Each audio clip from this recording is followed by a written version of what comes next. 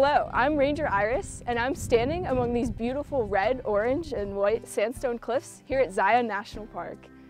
For much of the year, some parts of the park, like these cliff tops, are covered in snow. So here's what you need to know about visiting Zion National Park in the winter.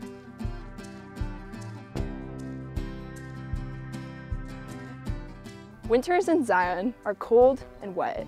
Temperatures can range from highs of 50s to 60 degree Fahrenheit or 10 to 16 degrees Celsius during the day, to lows well below freezing at night. And in the mornings, the canyon can be very windy, making it feel even colder. Wear layers like a coat, sweater, hat, and warm socks to be prepared. Rain and snow are common. Just look at all that rain feeding the waterfalls on the red sandstone cliffs. And that red and white contrast with the snow and the sandstone. Incredible. Nearly half of the annual precipitation in Zion Canyons happens in just four months, from December to March. After winter storms, snow typically disappears within a matter of hours at lower elevations. At higher elevations, it accumulates. So even if you don't see snow or ice where most hikes start at the bottom of the canyon, like near the grotto on the West Rim Trail, looking up at Angel's Landing, there can still be snow and ice on your hike. Like here, 750 feet higher on the icy switchbacks known as Walter's Wiggles. Roads and trails in Zion Canyon can be wet, snowy, and icy, making conditions hazardous.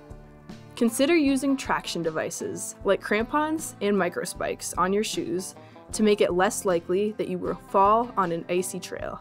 Ice and icicles also form on the rocks, and as the sun warms the canyon, it's common for ice to fall. Situational awareness is key.